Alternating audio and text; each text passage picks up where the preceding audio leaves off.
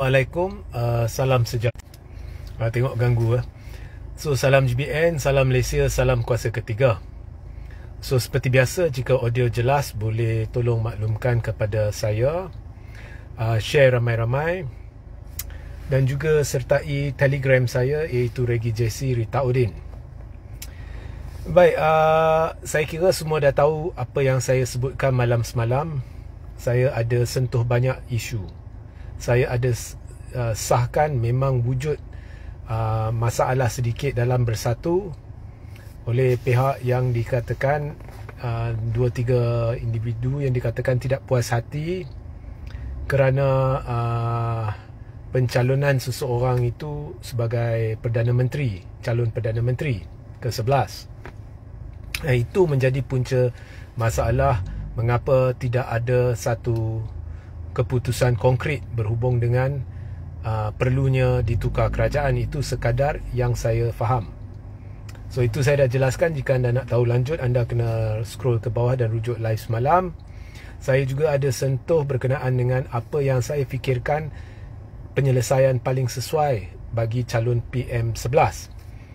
Dan saya juga ada beritahu bahawa uh, saya teramat yakin bahawa hari ini dan esok di bawah naungan uh, Al Sultan Abdullah sebagai yang di-Pertuan Agong tidak akan berlaku apa-apa kejutan yang diharapkan.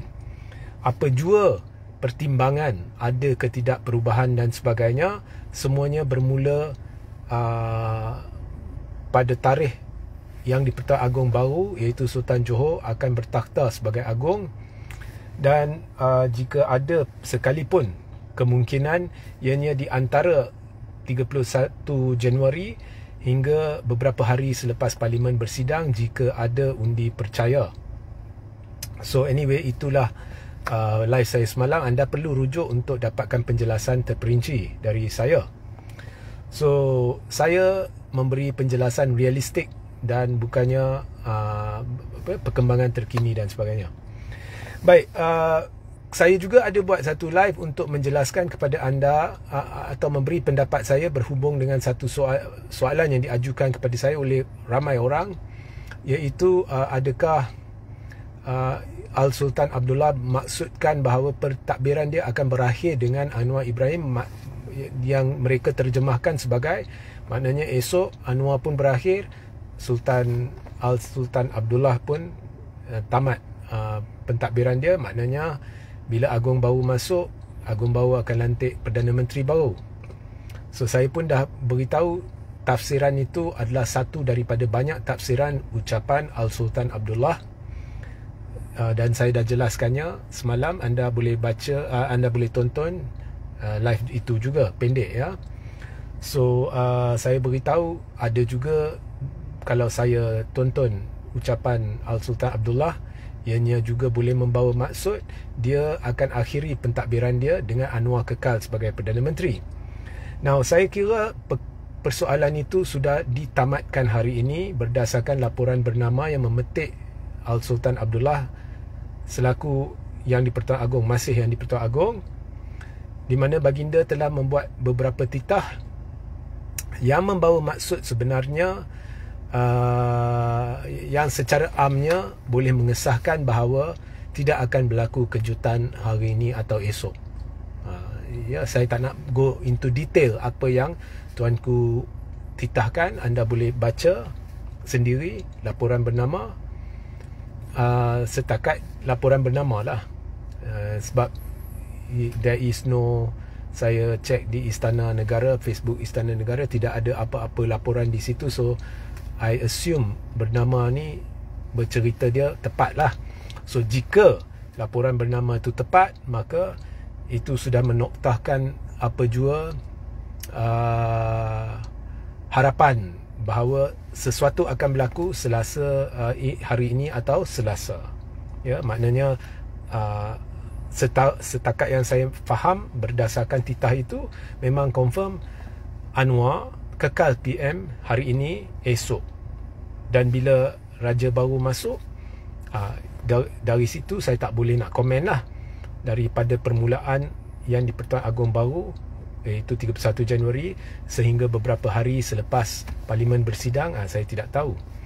Uh, contohnya jika tiba-tiba dibuat usul percaya bila parlimen bersidang ikut cabaran Anwar kena benarkan lah uh, dan uh, kita kena tengok usul percaya of course jika usul percaya tu Anwar gagal maka uh, memang secara berperlembagaan jelas terang lagi bersuluh Anwar hilang majoriti.